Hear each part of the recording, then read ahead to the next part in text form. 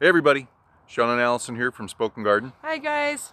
So day 17, Thursday of the Quarantine Gardeners. Mhm. And so here we are today. So today we're gonna do a project outside. It's gonna prune our azalea off our main walkway. We've been meaning to do it for quite a while now. Years. Yep, and it's it's actually encroaching on our sidewalk, growing into the walkway. So we're gonna prune that today and take it away and we're gonna show you how to do that. As you can see, it's a beautiful day outside. We're completely taking advantage of the sunshine. It feels really good. We're excited to get this started.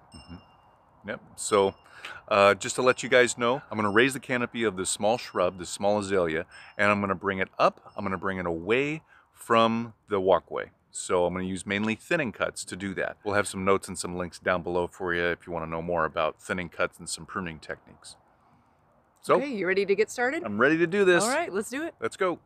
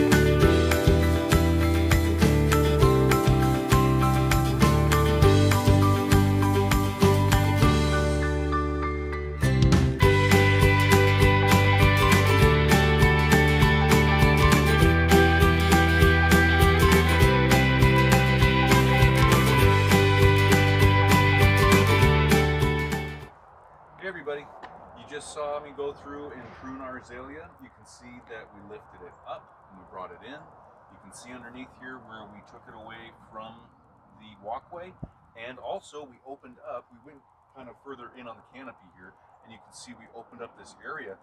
Now, as in all projects, they kind of grow. So now this project has turned into a new partial walking path right here that we're gonna develop a little bit later on. And maybe we'll show that to you as time passes here. You can see what I did here. When you go through and you thin out and you cut back azaleas and rhododendrons, you're gonna find that you're gonna partially expose some dead tissue that no longer grows, but that's okay because you can easily prune that out. I didn't get to that yet uh, in this pruning session here, but eventually I will get that out. But just be aware that when you start cutting into these, you're going to expose some of that older tissue that's no longer growing. So just something to be aware of. So mainly I went through and I used two different kinds of cuts. I used heading cuts and I used thinning cuts. Mainly thinning cuts where I took most of these branches back, the small stems and branches back to their point of attachment, which is a thinning cut. And then I also used heading cuts minimally, but that's where I came and I cut some of these right in the middle of it. And that's considered a heading cut. So just something to be aware of. If you want to know more, look down below so we'll have links for you to explain what thinning and heading cuts are and some more information on that. And also, um, let us know how we did. Give us that thumbs up. Let us know how we're doing. And also, subscribe to our channel so you can get updates on our latest videos and different information that we have available. So, so thanks for being here today, everybody, and we'll see you tomorrow.